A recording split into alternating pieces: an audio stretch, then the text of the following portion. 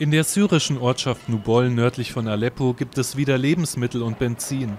Die syrischen Regierungstruppen haben die Region mit Hilfe russischer Luftangriffe unter ihre Kontrolle gebracht. Wir sind jetzt vier Jahre lang belagert worden. Jetzt ist die Straße wieder befahrbar und es gibt wieder etwas zu kaufen. Benzin und Diesel und Nahrung.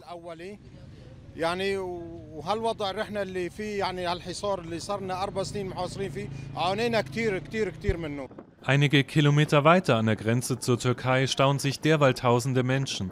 Sie sind vor der Offensive der Regierungstruppen geflohen und harren in einem früheren Olivenhain aus.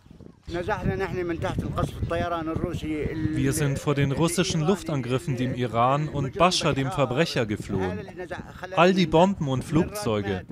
Und jetzt sind wir hier und Sie sehen ja, wie es hier ist. Wir bitten die türkische Regierung, Mitleid zu haben mit den ganzen Vertriebenen hier.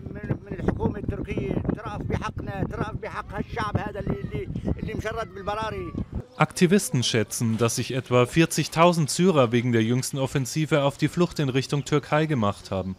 Falls Aleppo ganz erobert wird, werden es wohl noch mehr. Vorerst hält Ankara die Grenze geschlossen. Ich bin jetzt seit einer Woche hier. Unsere Lage ist schrecklich.